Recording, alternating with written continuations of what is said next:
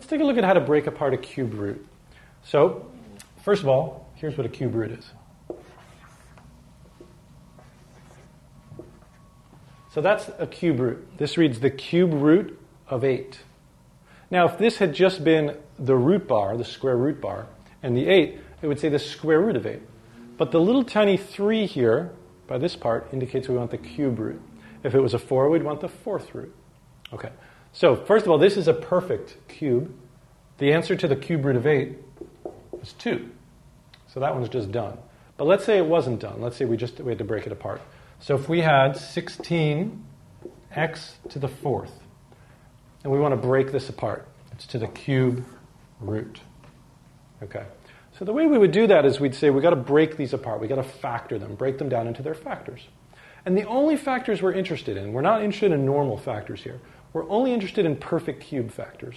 The perfect cubes are 1 cubed is 1, that doesn't help much. 2 cubed is 8. 3 cubed is 27. What I mean by that is 3 times 3 times 3 is 27. That's 3 cubed. 4 cubed is 64. That's 4 times 4 times 4. One more. 5 cubed is 125. And you can make a whole list. That's the only numbers we're interested in. So when we look at this number here, we're going to say, do any of these go into it? And you start at the top. The higher the better, because then you'll have less reducing later, or less work later. So does 125 go in? No. Does 64 go in? No. Does 27 go in? No. Does 8 go in? Yes. So we break 16 apart as 8 times 2.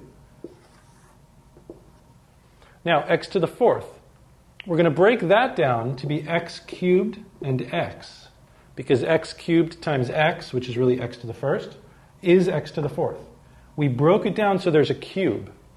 That one's even easier to see in a sense than the numbers, because you don't need your list.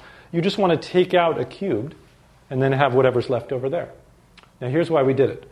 Because the cube root of 8 is 2. That comes out. The cube root of 8, as I showed you here, is 2. It's like Cube root of 8 is a synonym for 2. It just is 2. When you cross it out, it comes out of the root sign as a 2. The cube root of x cubed is x. You know, it's like saying what cubed is x cubed? x. And what we're left with inside the cube root, now you have to remember to write your 3 there. What we're left with inside the cube root sign is this guy and this guy. So when we break apart the cube root of 16x to the fourth, we get a 2 and an x outside the cube root. And inside the cube root, we still have a 2 and an x.